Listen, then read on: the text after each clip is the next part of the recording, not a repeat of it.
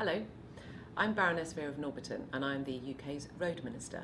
And I'm absolutely delighted that the UK is awarding the prize this year for the Road Maintenance and Operation Paper as part of the 2019 World Road Congress in Abu Dhabi. And my warmest congratulations to the winner of the prize.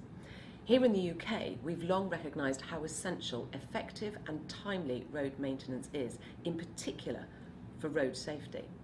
Every year, the UK dedicates substantial resources to ensure that our network is able to operate in the way that our road users expect. But it's not just about how much money we can spend, or even the skills that we have. We apply an asset management approach to highways maintenance to ensure resource is, is spent effectively and to make sure that we get value for money and an improved experience for road users. But as ever, there's always room for improvement, and we're now moving to the next phase. It's about innovation and technology, and this is the theme for the UK's presence at this year's Congress.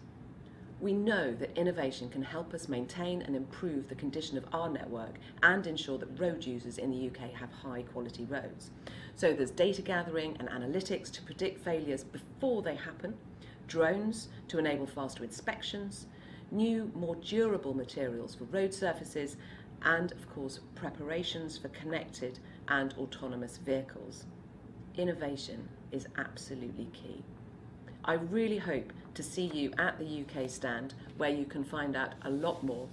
And once again, my warmest congratulations to the winner of the prize.